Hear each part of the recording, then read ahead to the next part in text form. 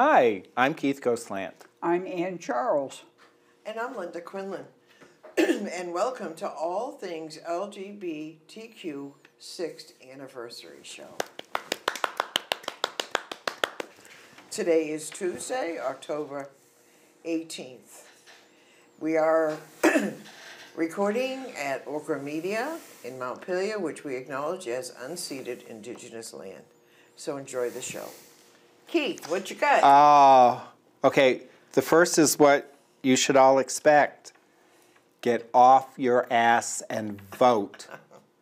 Everyone should have gotten a mail in ballot in the mail. If you haven't, please get in touch with your town clerk immediately. Please read the instructions. Remember to sign it. And you can either mail it back in, but make sure there is time for delivery, or you can go to the town clerk's office and, like in Montpelier City Hall, there Right is the a back. there's a drop box right in the back. So the trivia question, and Anne was successful. We need to thank Richard Eichberg and Jean O'Leary for an idea in 1988 that has become an international celebration. What is it? So, also want to acknowledge this is Breast Cancer Awareness Month. So, because we've all lost way too many people. So, Front Porch Forum, interesting post. People are trying to organize a queer holiday craft fair at the Capital City Grange here in Montpelier wow. and it will be on Saturday, December 17th. Our intention is to create a fun, relaxed, inclusive event that celebrates creativity in queer community and welcomes artists and crafters of all experience levels from professionals to hobbyists. So, and Zach hopefully has put up two contacts for you. One is their website. So if you're a vendor and you would like to participate, Or an arts person or whatever, huh? if you want to donate, that's where to go. And then there's an email for questions. So, and as time goes on, I've already reached out to them. They're going to keep us updated on where they are, what's happening, and all of the final details.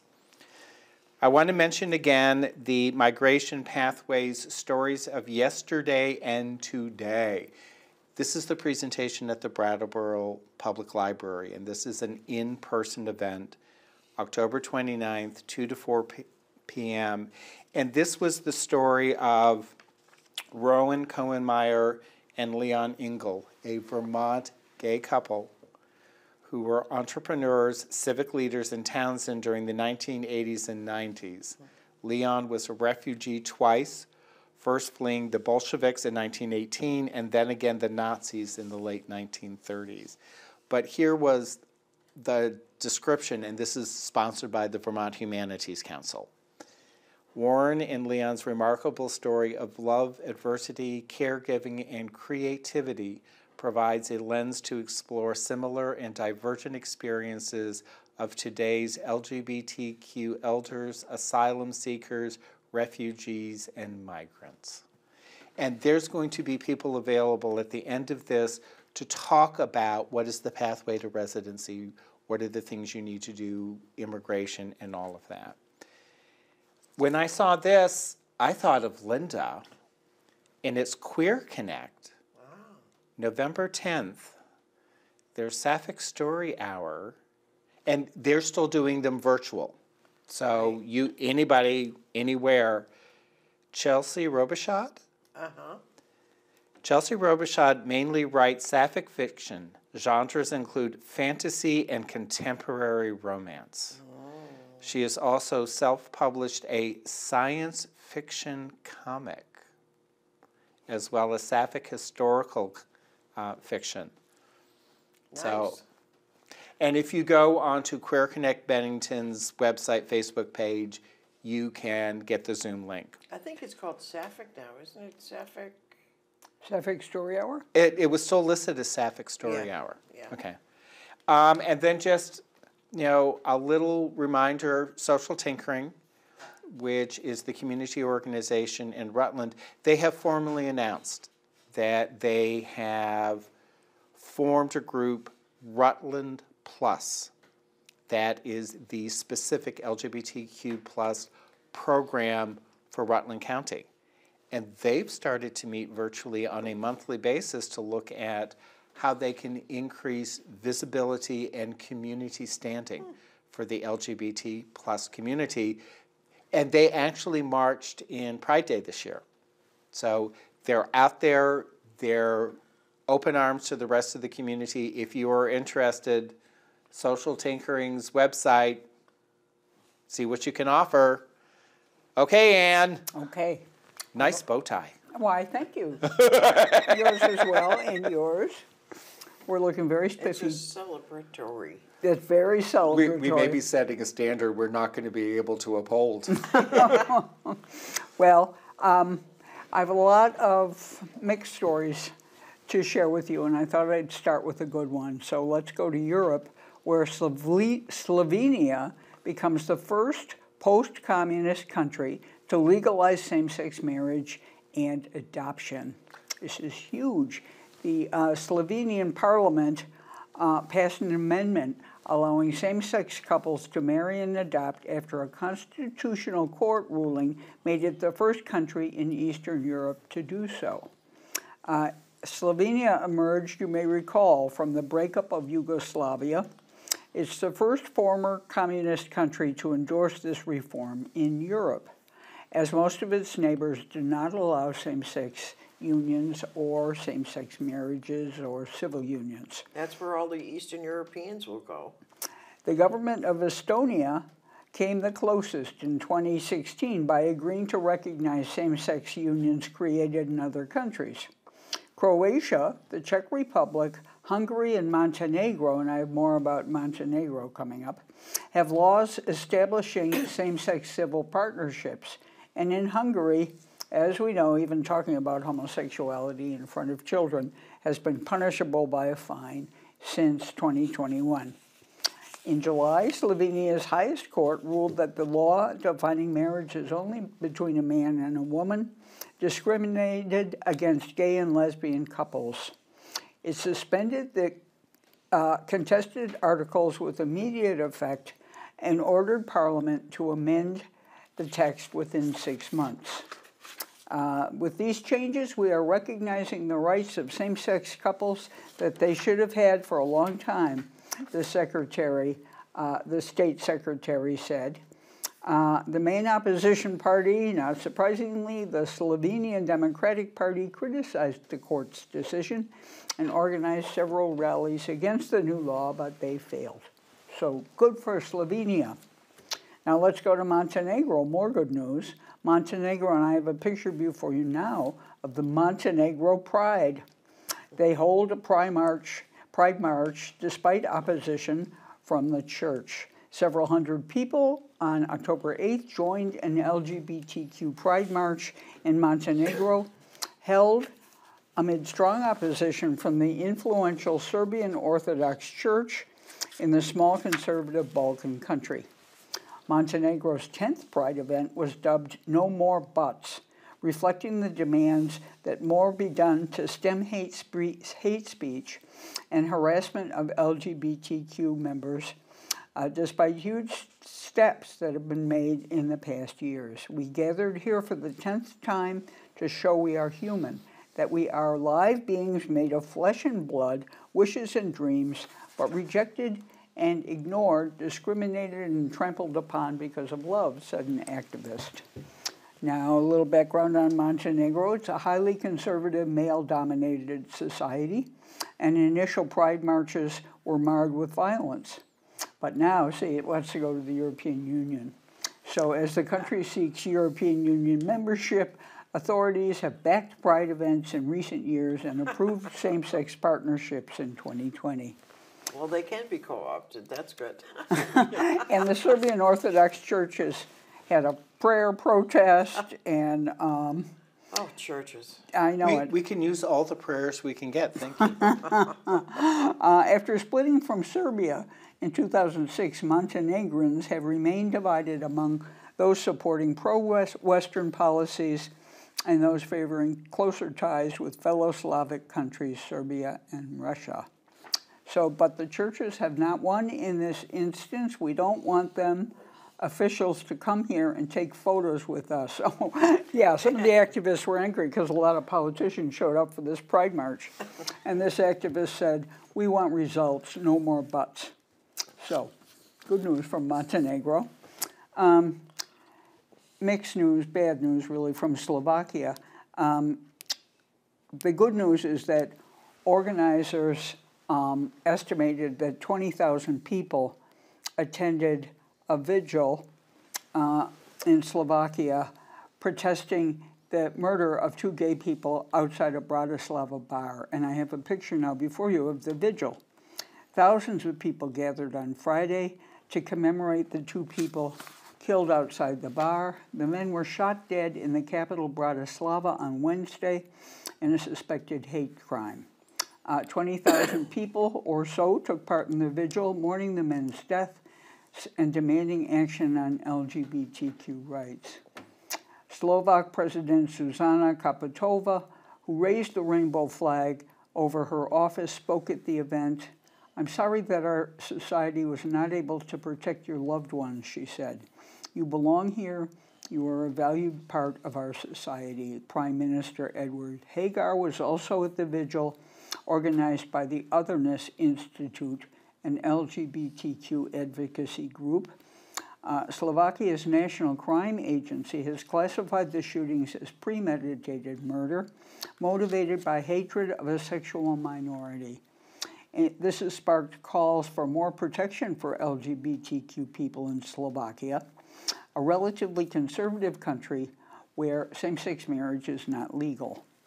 Um, a BBC reporter from the Czech Republic said some Slovaks were angry at what they see as another theme hypocrisy from the politicians.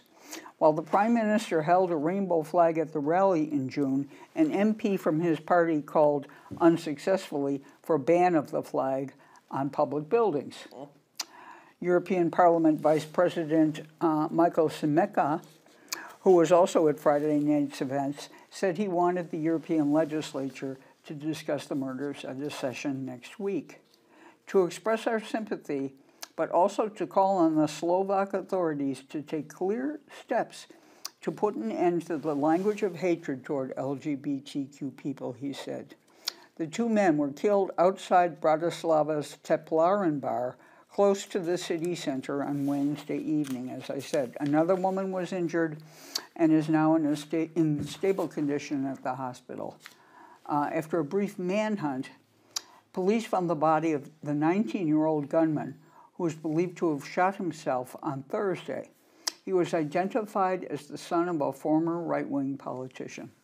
Just before the killings, he had posted an anti LGBTQ and anti Semitic manifesto on Twitter, warning that he would carry them out. He later also claimed responsibilities. So, to continue on this miserable note, hate crimes reach record high as offenses against transgender people double in the UK. The Home Office report links the rise in police recorded transgender hate crimes to discussions on social media.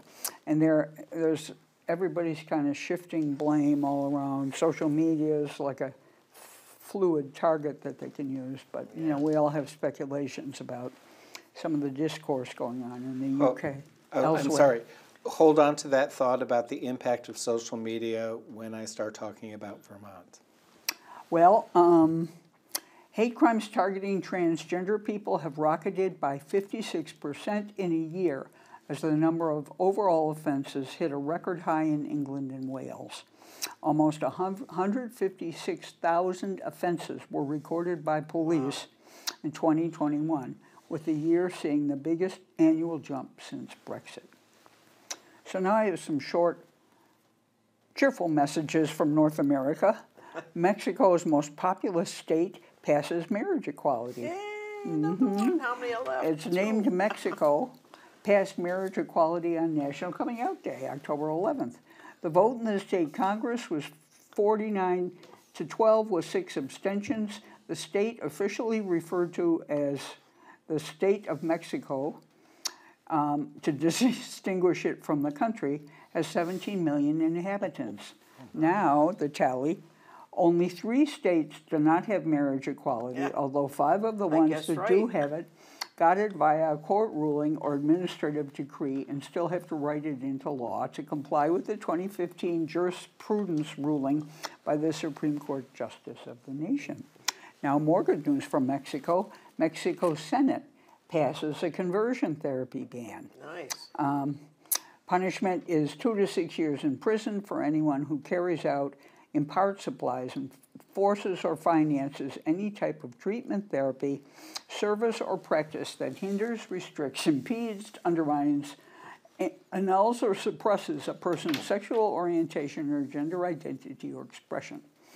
The penalty is doubled if the victim is a minor, senior citizen, or has a disability. So the Senate, you know, like as in the US, rules over all the states, but now it has to go to the Chamber of Deputies, which is comparable to our Congress. Still, more good news. That's good news from Mexico. hmm let's go to South America for more good news.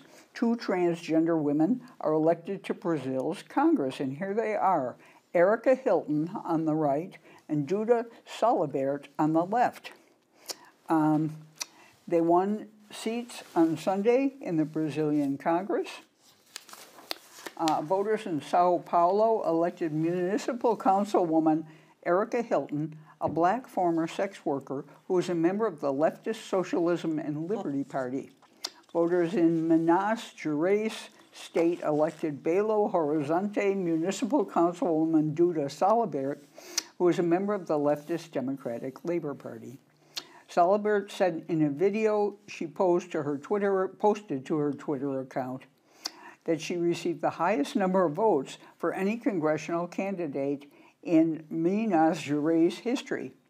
Salabert also highlighted that she received death threats during her campaign. They both had death threats during their campaigns. I'm the first trans person elected to National Congress, she said. We won the election despite the attacks from leftists, attacks from Christian fundamentalists, and death threat- threats They have from them too. Pardon me? They have them too. Oh yeah. Hilton also received, so they all they both got death threats.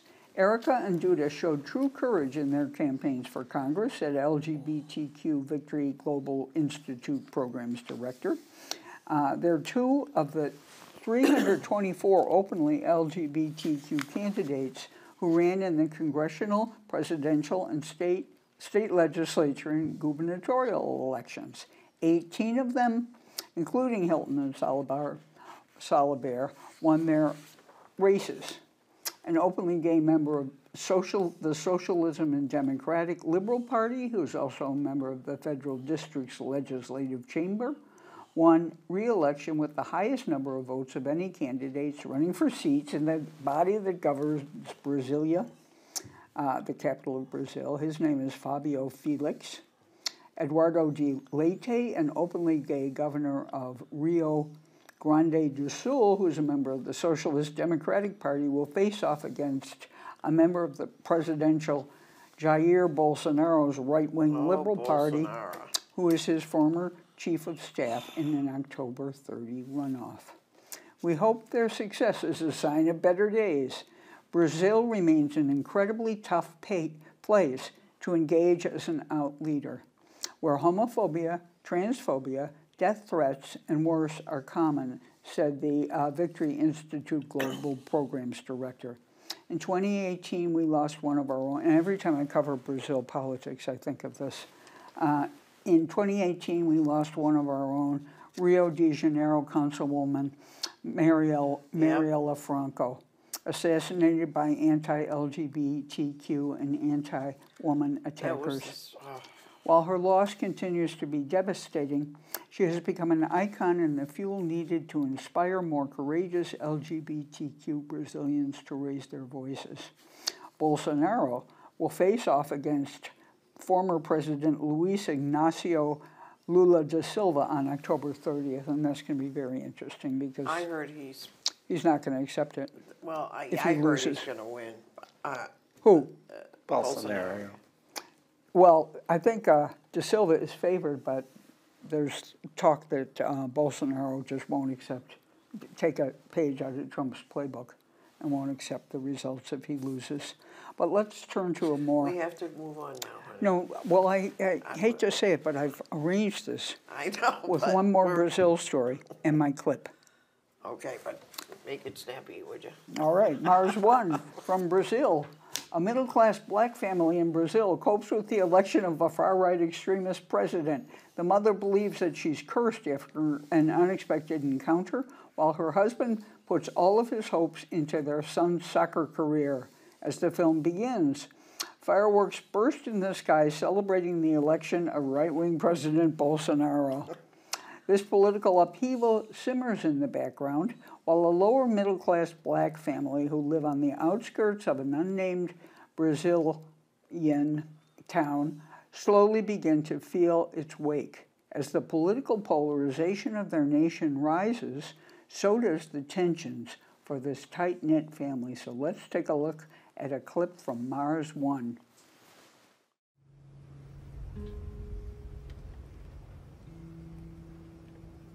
Nina, você acha que o papai ia ficar bravo se eu não quisesse mais jogar futebol?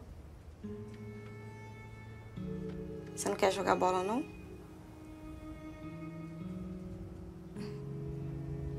Ah, não sei se eu quero virar jogador profissional, não. Então fala com o papai, Devinho. Ele não pode te obrigar a fazer nada, não. Não é que eu quero parar de jogar bola. Eu penso em fazer outras coisas também. É? Tipo o quê? que foi? Ah, você vai achar besteira, não vou falar, não. Fala, Devinho, de ser bobo.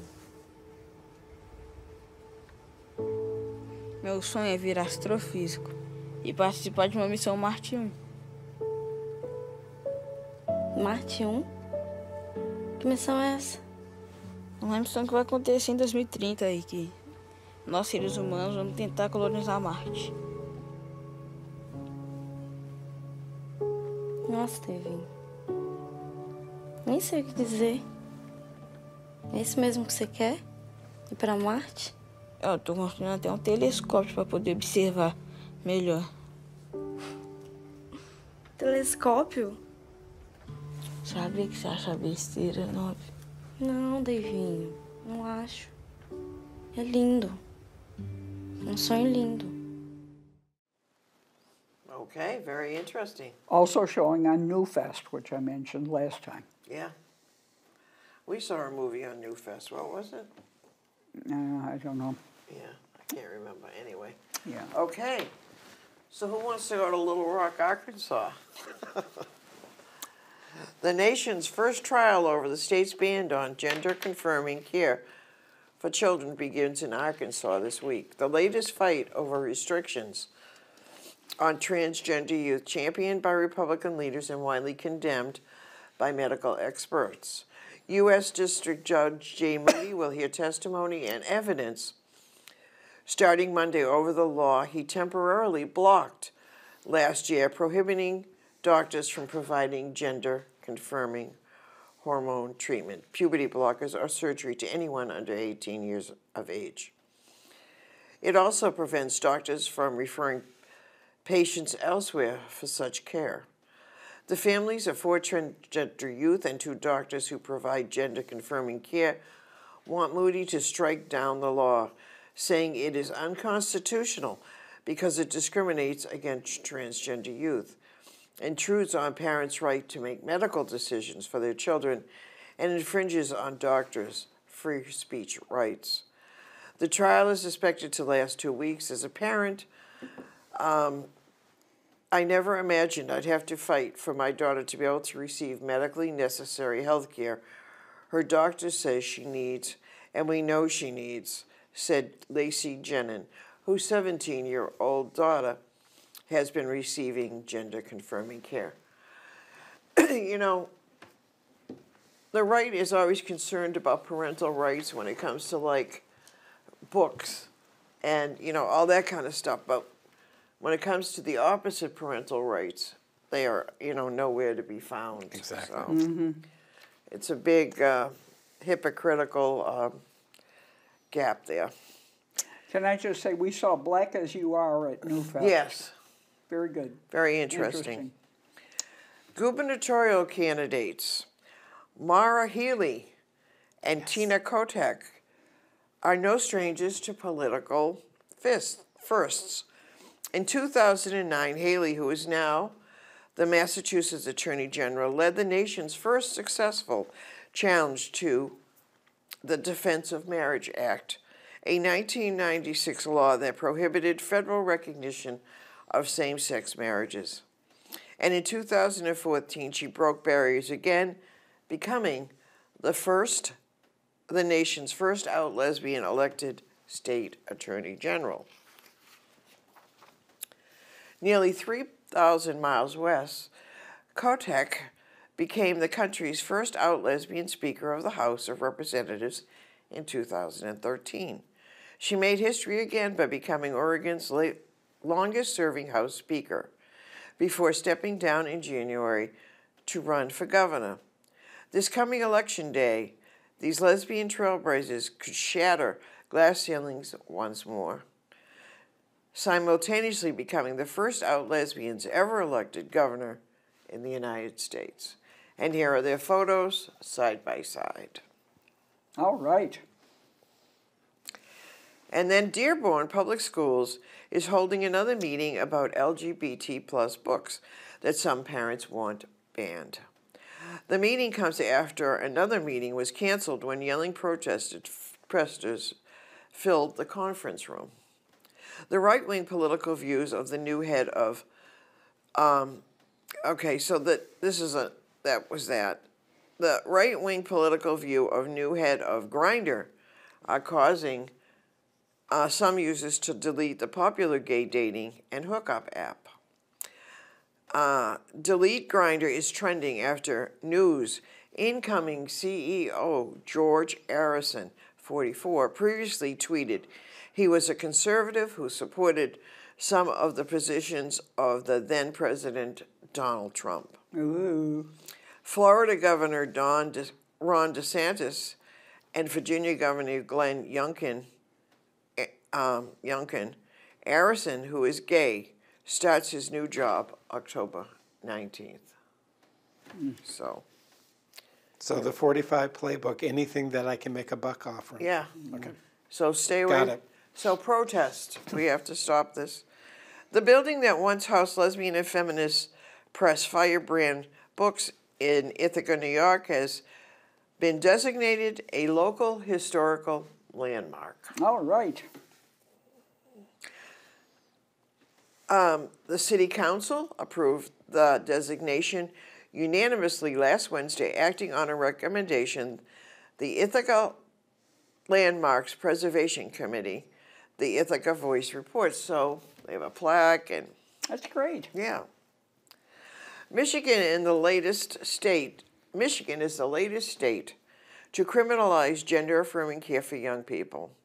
State Representative Ryan Berman, the same legislator seeking to ban drag shows in schools, not that any Michigan school has been known to host a drag show, introduced a bill Tuesday under which parents and guardians would be charged with felony child abuse if they allow their children to undergo gender confirming procedures.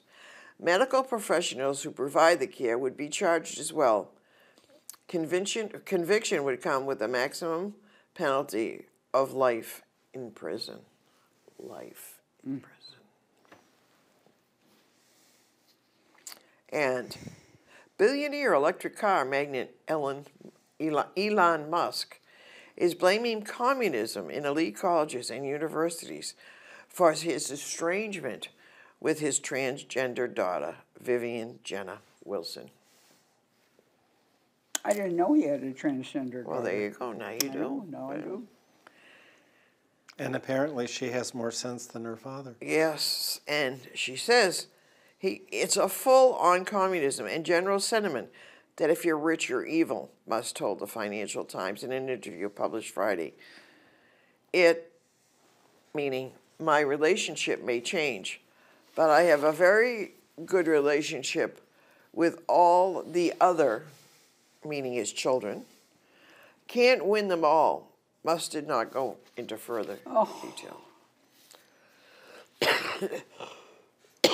I know, isn't that? Mm. What a world. What a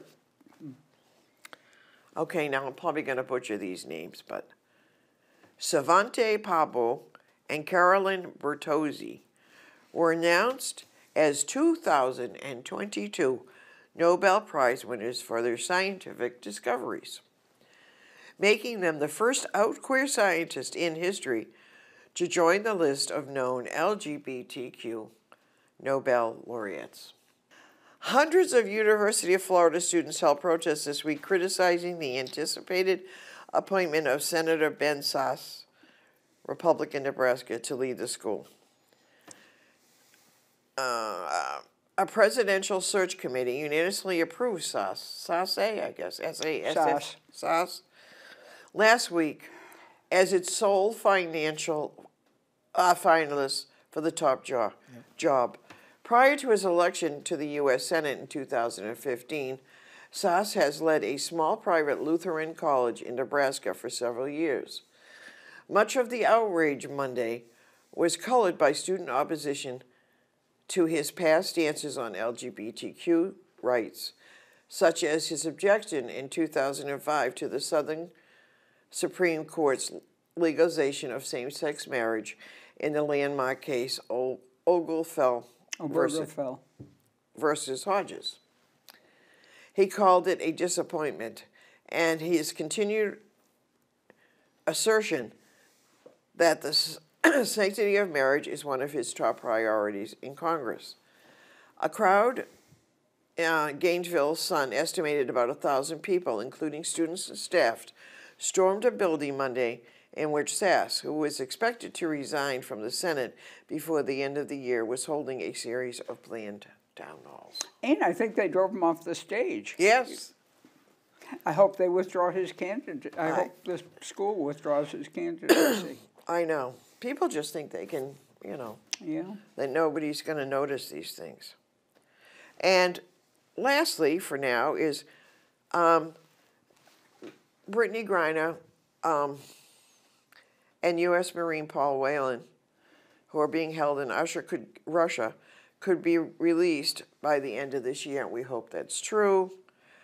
Uh, said the former UN ambassador from the United Nations, Bill Richardson, who traveled to Moscow in December uh, in September. And, you know, I think Biden made a statement that um, he would only talk to Putin about this and nothing more. So I think Putin wants more. Um, he doesn't want just one, Right. he wants more than one. So, Reaffirming the importance of voting. Current commentary are there are five or six House seats that could easily flip in this coming election based upon voter turnout. One of them is Franklin Six. This is Brenda Churchill, who, if elected, would be our second transgender member of the legislature. Your vote counts this election, it's critical. Follow up monkeypox. Yes. We haven't talked about it for a while. I heard it's And- disappearing now. Well, th- here's the reason that might be. CDC is saying there's an 85% decrease in the incidence of monkeypox since the beginning of August. And the UK And- has stopped ordering monkeypox vaccines, by the way.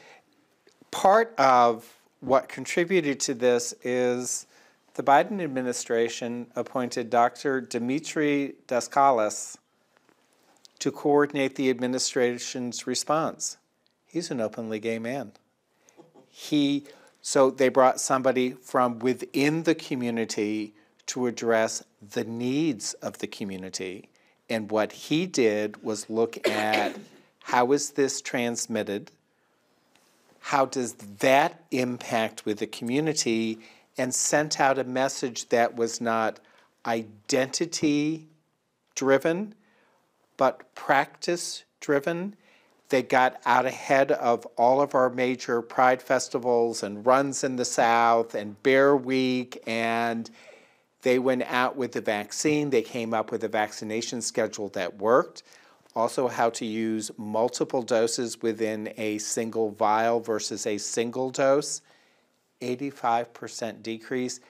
This is what happens when you work with the impacted community versus Yeah. telling them what. So, there are two major stories happening in Vermont right now, and I'm only going to talk about one of them. And on our next show, hopefully, there's going to be more follow up with the Randolph High School because they're still doing their open forums, their school board and administration is still looking at their response. So it'll be a more comprehensive. But the other big story is Pride Day and the Outright Vermont fire truck pull. And sort of walking through chronology, and it's kind of difficult. So if I start sort of, wait a minute, I think you're missing something, please speak up. Did anybody get videos of this? That- Well, tell us exactly what Okay. happened. Well, this, this is what I'm going to do, but walking through it, it's like it is so convoluted. And the statement about social media, a lot of both this and Randolph is playing out on social media. And one of the commentaries recently about social media is after somebody's tweeted it three times, oh, it must be true. Mm-hmm. There's no fact checking. How this all started well known activist in the Burlington community, someone who was one of the original rioters at Stonewall in 69, has been a very vocal anti trans member of the Burlington community.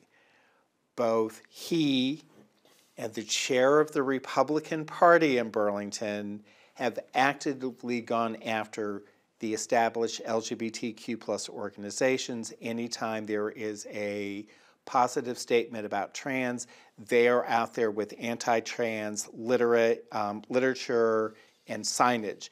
Actually, he and I didn't appreciate this until I was sort of looking through and getting tidbits. He was banned from the Pride Parade last year because of his anti-trans flags Oh, and banners. So, so this year, prior to the Pride March, they started posting on media with a black fa- face with a line through it, women's face with a line crossed out in red. You know, Oh, this is what I'm taking to Pride. Let's see how they react. So this is happening on social media. Now, he and the chair of the Republican Party claim that at Pride Day, but they don't specify where or circumstance, he was assaulted by transgender youth. Now, the Burlington police are investigating. They have issued no statement, which means they're really struggling for information. The only information out there is what he is putting out on his social media, which is what the conservative press picked up, and it has gone global, including J.K. Rowling's making comments and whatever. His assertion is this was a gang of thugs from outright.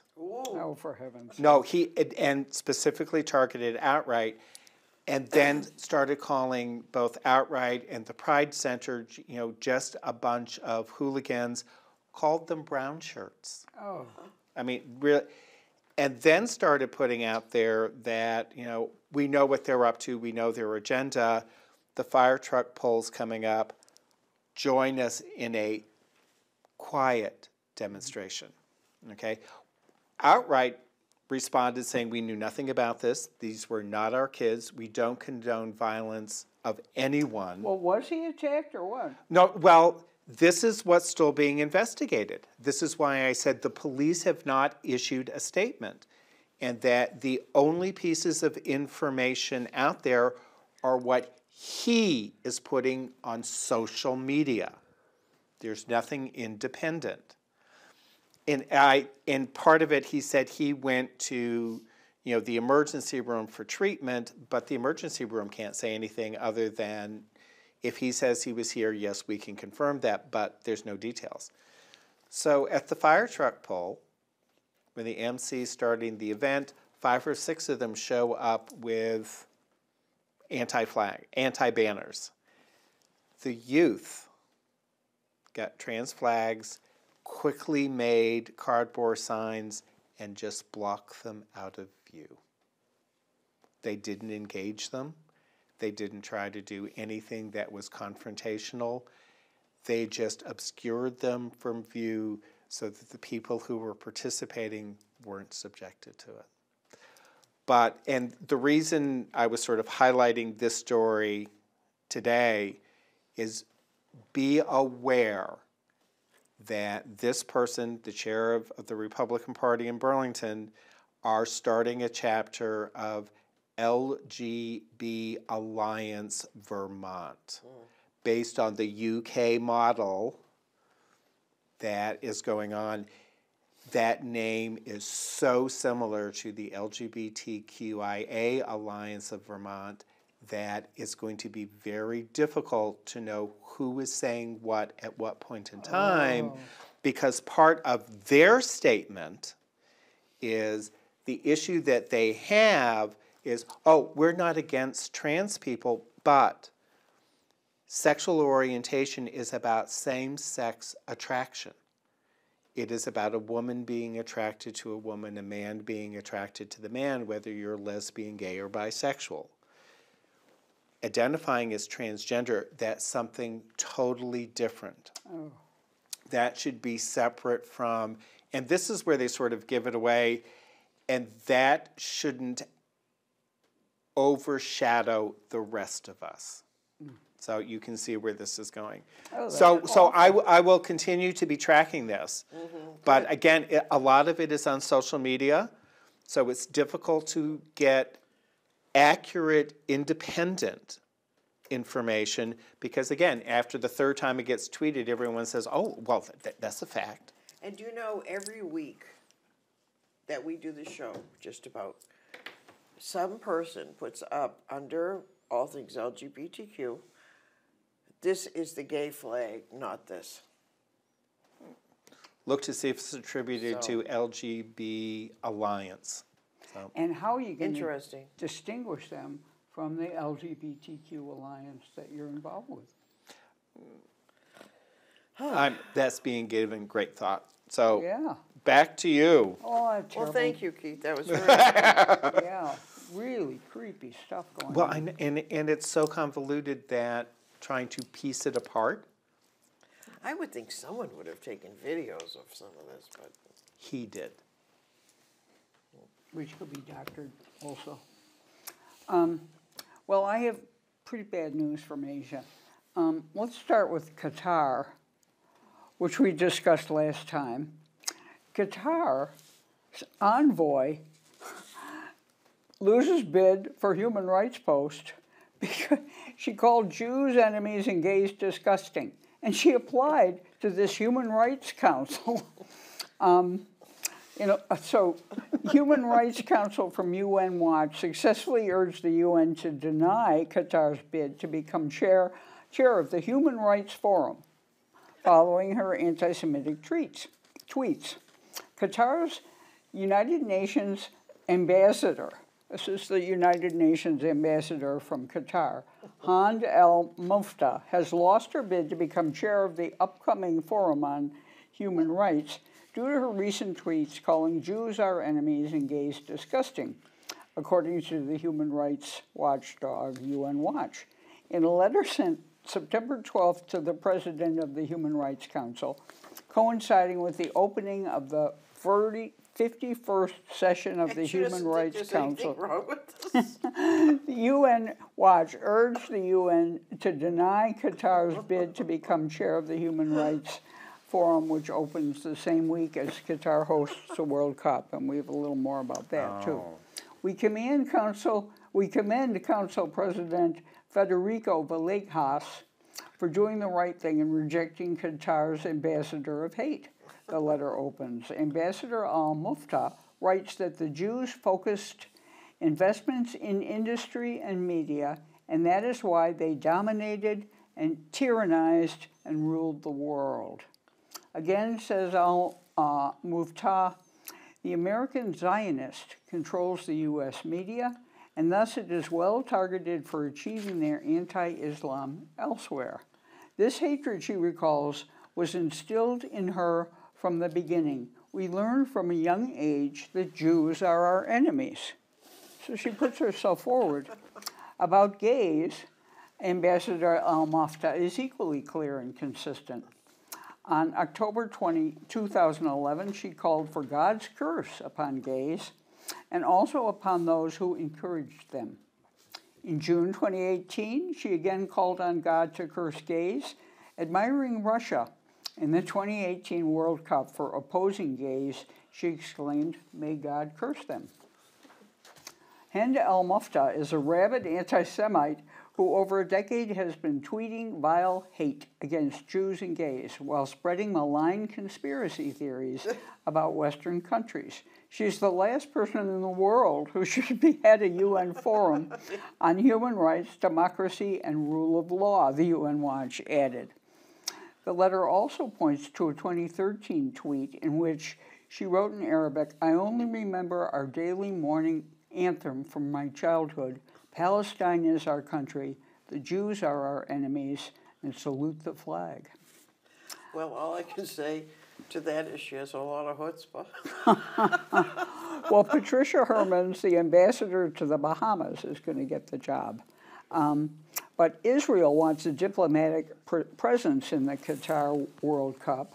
Um, they discussed do- with Doha the aim of reaching an agreement that would enable Israel to provide consular assistance to Israelis planning to travel to the 2022 uh, FIFA World Cup taking place in Qatar.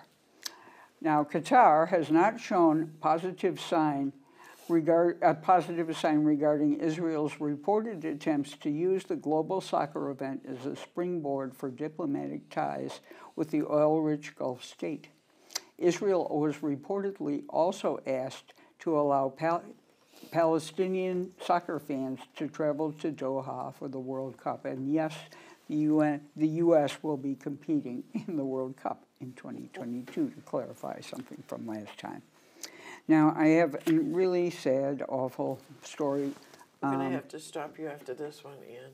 I've got two more that Yeah, are, wait, yeah. Oh, we're running out of time and I still have some stories here, so. Okay, well, let me uh, show you a picture of Hamid Saburi, 22.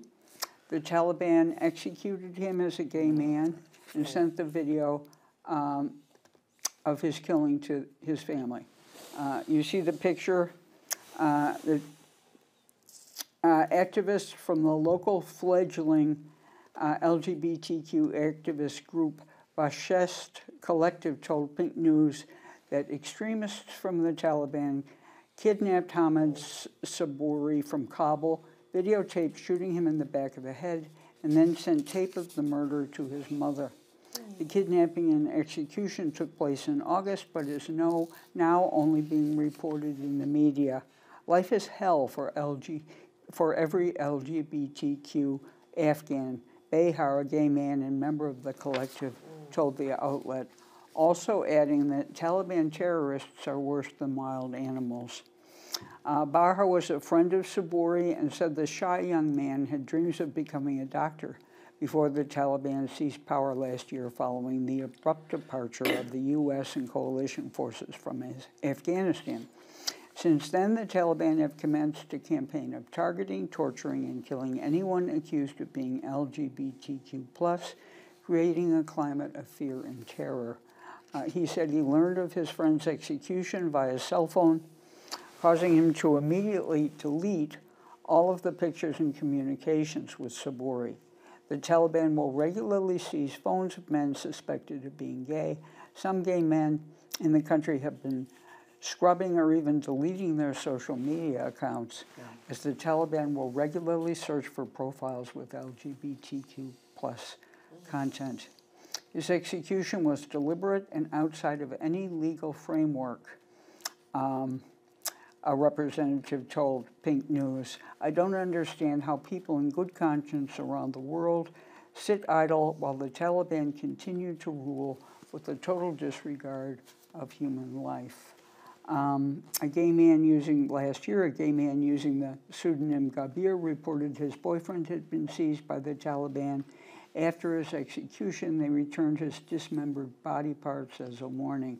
Another gay man, now in hiding for his safety, reported last year that he was burned and tortured by the Taliban. Earlier this year, a gay non binary person reported they felt alone after the Taliban tortured and stabbed him them 18 times with a knife. Shame on you.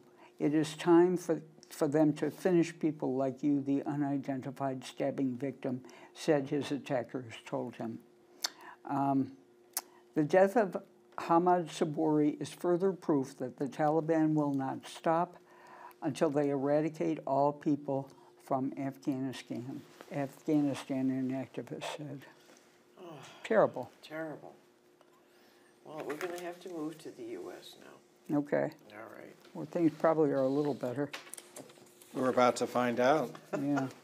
An LGBTQ ag- advocacy group on Tuesday offered to fund all clubs at New York's Yeshiva University after the college suspended student activities to avoid recognizing a campus pride group. Jewish Queer Youth funds the Yeshiva University Pride Alliance and had said the university's decision to suspend all clubs paints a target on the backs of queer undergraduate students. In response to the club's freeze, which was announced last week after the Supreme Court said the university needed to recognize the Pride Alliance, Jewish Queer Youth said it would fund any of the college's dozens of student groups. Hmm. So. Republican legislative attacks on transgender children over the last two years have reached such intolerable levels of barbarianism, it's hard to imagine that further cruelty could be possible. But on Tuesday, a group of Michigan Republican state representatives continued to push the envelope, introducing a bill that would see parents and medical professionals face life in prison for, for, for providing gender affirming care to a minor. House Bill 6454 seeks to change the very definition of child abuse to explicitly apply to anyone who knowingly or intentionally consents to, obtains, or assists with any gender trans- transition procedure for a child. The language applies not only to gender affirming surgery, which is very rare for teens, but also to hormone treaters, puberty blockers.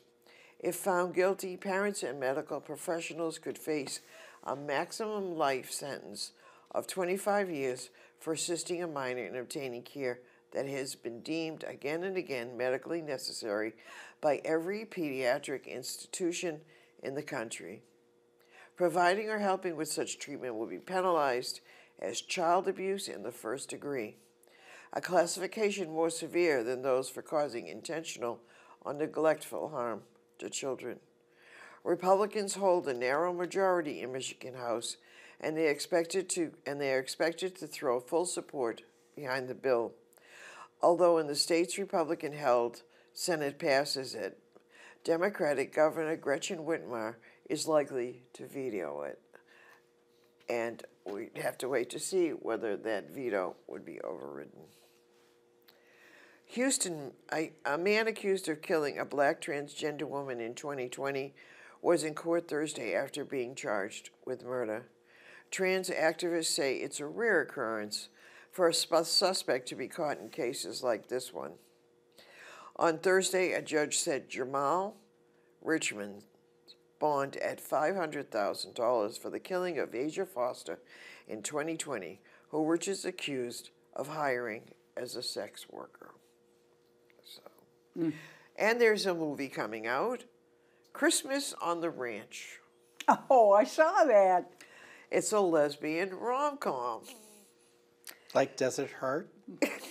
On the range, though. Yes, like Desert Heart, probably, but Cowboy. Lesbian City cowboys. girl Haley is always so busy with her career that she doesn't have time to entertain love or family concerns until her brother Charles calls her up from their family ranch to say uh, that the farm is in financial trouble.